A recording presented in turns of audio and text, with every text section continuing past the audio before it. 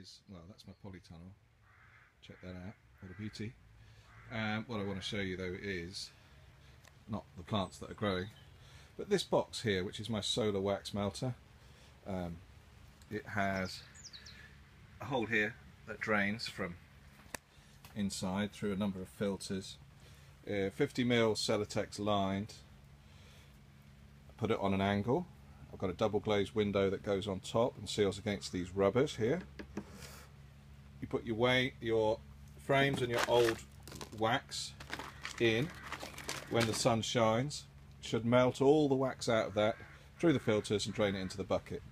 So hopefully there'll be an interesting update um, soon. Uh, the box is four foot long, about uh, I don't know, 18 inches wide, I guess, and it's balanced on top of my uh, wheelbarrow right now. It's raining, so it won't start working yet, but hopefully there'll be an update video coming soon. All right, thanks for watching. Cheers, bye.